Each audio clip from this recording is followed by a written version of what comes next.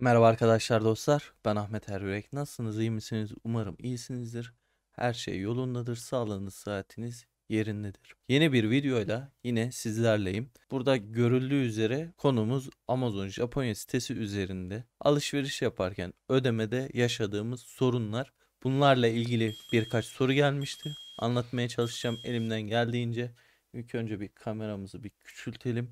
Şimdi bu hata nedir? Bu İngilizcesi hemen bir Türkçe yapalım.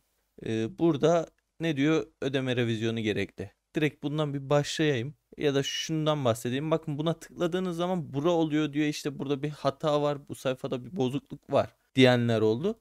Bunu şey yaptığınız zaman bakın burayı getiriyor. İşte size hani sayfanın en üst kısmına buraya atıyor. Yani diyor ki işte burayı kontrol etmen gerekiyor. Burada yani burada bir bozukluk yok. Biraz mantığı farklı işte.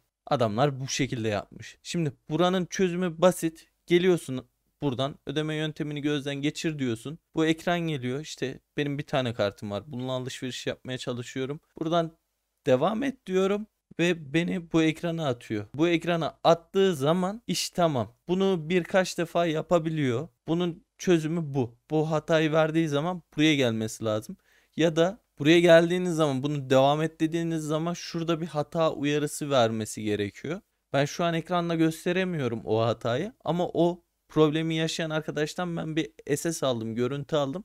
Ekranda paylaşacağım. Ödeme seçeneği hatası diye bir şey diyor. Şu an ekranda görüyor olacaksınız zaten. Onun çözümü de şu. Bu kartı siliyorsunuz. Onu da nereden siliyorsunuz göstereyim. Hesabına geliyorsun. Ödeme yöntemlerine geliyorsun. Burayı açıyorsun. Buradan kaldır diyorsun. Senin kredi kartını. Sonra yenisini ekle diyorsun. O zaman hata kalkıyor. Yani buraya geldiğin zaman buraya geldiğin zaman ekle dediğin zaman hata kalkıyor ya da yine diyebilir. Yarım saat sonra falan bir saat sonra gel tekrar devam et de kart ekledikten sonra bazen sistem yeni kart eklendiğini biraz geç algılayabiliyor. Bu hatanın çözümü de bu şekilde olabiliyor. İşte onun haricinde yani böyle bir hata yaşıyorsanız bunun çözümü basit. Payment method diyorsun, giriyorsun, continue diyorsun ve bu ekran geliyor. İş tamam. Bu kadar. Buraya geliyorsun zaten hesap şey ödemelerine. Buraya geliyor. Şu hatayı da verebilir. İki tane kart varken bunları özellikle göstermek istedim. Bu kartları ben almayacağım. Sırf video çekebilmek için kartları ekledim ve hani kredi kartımda da para olmadığı için şu an çekmiyor. Yani kredi kartımda para olmadığı için rahat rahat buraya ekleyip ödeme alınamadı hatasını vermesini rahat rahat bekleyebiliyorum. Çünkü dediğim gibi kredi kartımda para yok ve çekemeyecek eminim. Çünkü olmayan bir şey çekemez.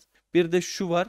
Bu hatayı niye veriyor olabilir? De, belki 10 defa deneyeceksiniz ama çekmeyecek. Neden çekmeyebilir? 1.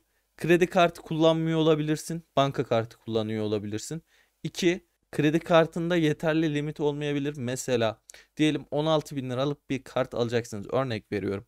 Sizin hesabınızda ortalama 17-18 bin lira olması lazım. Bazen banka komisyonu 500, 1000, 1500 lira çekebiliyor. Benden bir 500 çekti. Sonra o an kurda çok dalgalanma olduğu için biraz da 400 sonradan çekti. Böyle de yapabiliyor. Sonradan da para çekebiliyor. Bilginiz olsun. Bir de YouTube'da bir yorum gelmişti işte 1500 lira çekti normal mi diye. Yani normal çünkü yani normal çünkü çok fazla kurda dalgalanma var. Bu yüzden çok fazla komisyon kesiyor. Bir konudan daha bahsetmek istiyorum. YouTube'da işte yorumlara şey geldi, soru gelmişti. Bu komisyon ne kadar kesiyor vesaire diye. Bu arkadaşımız dolarla ödemeyi denemiş ve garantiydi. Garanti Bankası'ydı sanırım. Garanti Bankası dolarla ödemenize olanak sağlıyormuş ve dolarla ödediğiniz zaman komisyon bankanın kestiği komisyon oranı düşüyormuş.